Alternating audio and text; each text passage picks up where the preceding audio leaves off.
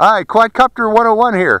Uh, if you look up in the sky, you see a big oval up there. I think they're doing a test flight of uh, the new Spaceship 3 down in Mojave Airport.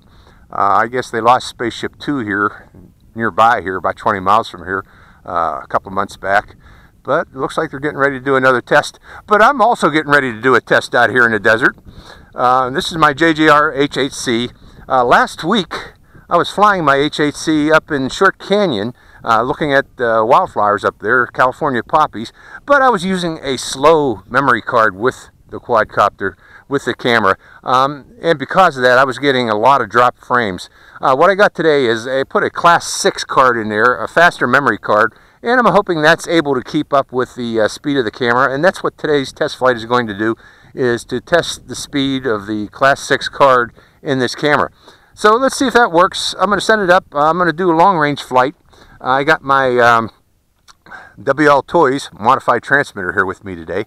Uh, that works great with this quadcopter, by the way. I recommend this transmitter, and I recommend doing the Sebidoki modification. If you don't know what that is, I'll include a link below in the info section of this video.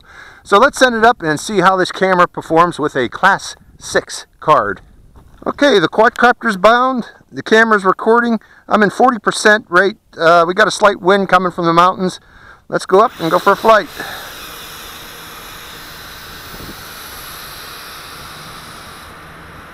Again, I'm going to be doing long range flying, or try to do long range flying with this uh, reflector here and the antenna.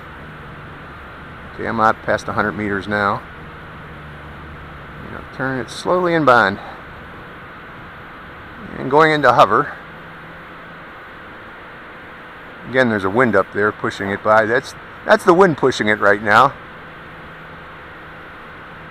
I'm still I'm just still hovering right now. Okay I better fight that wind going upwind now. Okay I'm coming down. I'm too high. I don't want to be way up there. Got to keep it below 400 feet right folks? And now I'm going to be doing uh, low-level flying.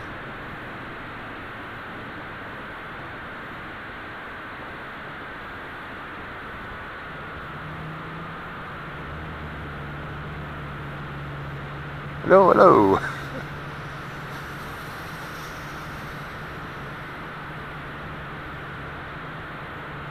Yeah, this modification, and Sebidoki did a real nice documentation how to do it with this transmitter. It works great uh, for about six dollars in parts that you can get off of Banggood.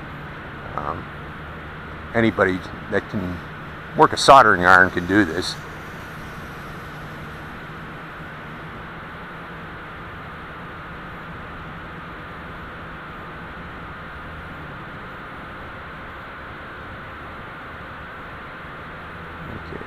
Little bit of climbing.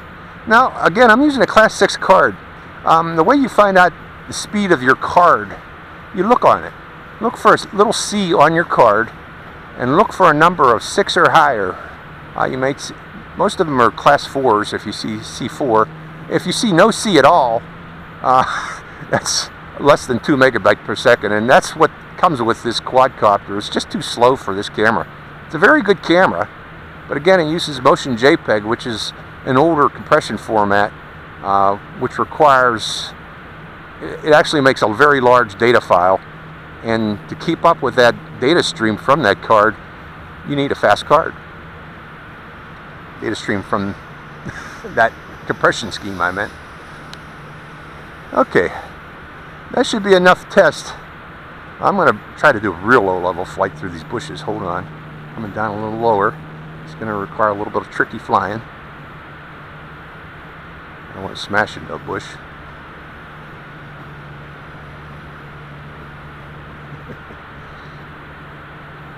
okay, Turn to the right. Turn to the right.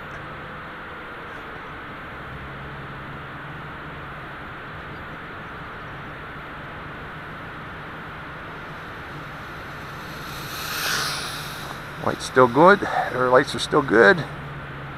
A little bit of a tilt on the quadcopter there. I notice I need to uh, calibrate the gyros on that to get rid of that tilt.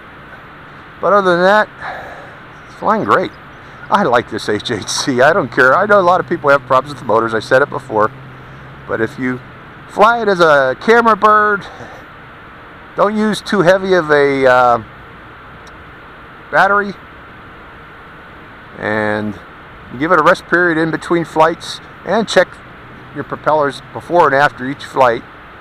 It's a good quad. It actually, the motors last reasonably good time, or a long time. Okay, I'm bringing it in for a landing.